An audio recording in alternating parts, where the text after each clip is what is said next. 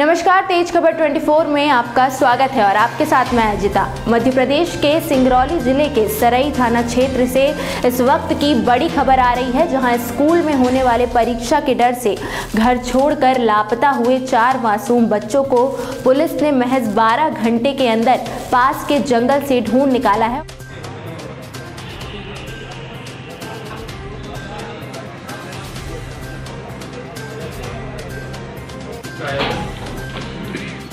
Police के द्वारा। आमतौर पर कानून व्यवस्था को लेकर खाकी पर अक्सर सवाल उठते हैं, लेकिन सिंगरौली पुलिस ने अपनी सतर्कता, सूझबूझ और प्रयासों से लापता चार बच्चों को चंद घंटों में ढूंढ निकाला है।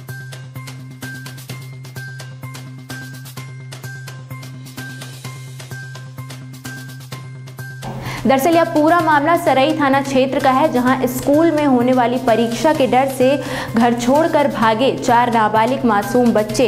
जब समय पर घर नहीं लौटे तो चारों बच्चों के परिजनों की चिंताएँ बढ़ने लगी।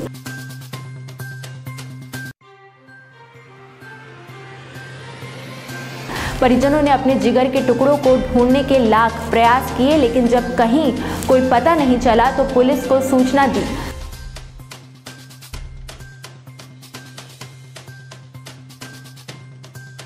सूचना मिलते ही एसपी अभिजीत रंजन ने मामले को संज्ञान में लेते हुए पुलिस को हर संभव प्रयास करने के निर्देश दिए।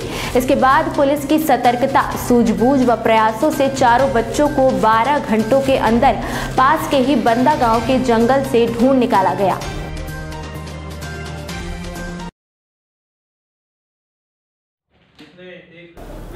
घर से भागे हुए नाबालिग बच्चे रास्ता भटक गए थे जिन्हें हरि नारायण नामक व्यक्ति ने अपने पास सुरक्षित रखा था। जिसके लिए एसपी ने हरि नारायण को सम्मानित किया है वहीं पुलिस ने चारों बच्चों के परिजनों के हवाले कर दिया है।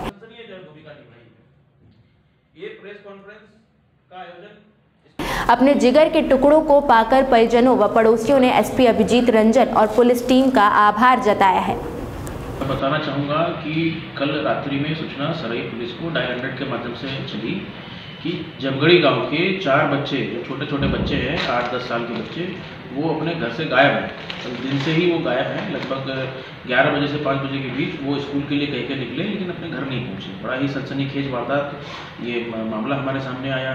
पुलिस की पूरी टीम इसमें S D O P T I Bhargava की भी पूरी टीम सरई की पूरी टीम, आसपास की थाना, चौकियों की टीम, सभी लोग इसमें जंगल को सर्च कर रहे हैं सर्चिंग करने के दौरान सुबह तक हमें इसके बारे में कोई विशेष जानकारी नहीं मिल पाई। हमें बस इतना पता चला कि बच्चे स्कूल के लिए तो निकले थे, लेकिन स्कूल में वो नहीं पहुँचे। स्कूल के मास्टर साहब से भी बात की हमने, उसके संदर्भ में भी पूछा तो उनको भी कोई विशेष जानकारी इस संदर्भ में नहीं थी। सर्चिंग के दौरान ये बच्चे बंदा के पास जंगल में भटकते हुए ये बच्चे मिले। बच्चों से जब ये पूछताछ किया गया तो बच्चों ने ये बताया कि एग्ज़ाम न देने के डर से ये स्कूल न जाने के डर से ये लोग जो है घर से बाहर चले गए थे। और वहीं बंदा के पास एक सज्जन व्यक्ति एक गुर्जर समाज का एक व्यक्ति है उन्होंने इनको रात में आश्रय दिया इनको कंबल में लपेट करके इनको अच्छे से रखा और फिर सुबह जो है ये बच्चे अपने घर वापस लौट रहे थे। अ, रास्ते में इनको पुलिस की टीम द्वारा इनको बरामद किया गया। कितने किलोमीटर दूर सर चले गए थे? ये तकरीबन अपने घर से आठ दस किलोमीटर दूर निकल गए थे क्योंकि उधर जंगली एरिया है पहाड़ भी हैं छोटे छोटे पहाड़ी हैं तो उस कारण से बच्चे मार्ग भटक गए थे। किसी वाहन से गए थे या पैदल ही नहीं नहीं ये अभी तक जो जानकारी मिली है उसके आधार पे ये बच्चे पैदल ही इधर उधर गए। लेकिन मैं उस व्यक्ति का और गुर्जर समाज का जो व्यक्ति है उसको मैं बड़ा ही धन्यवाद देना चाहूँगा। और एक अच्छे नागरिक के रूप में एक अनुकरणीय उन्होंने कार्य किया है और चार बच्चों की निश्चित रूप से उन्होंने जान की हिफाजत की है।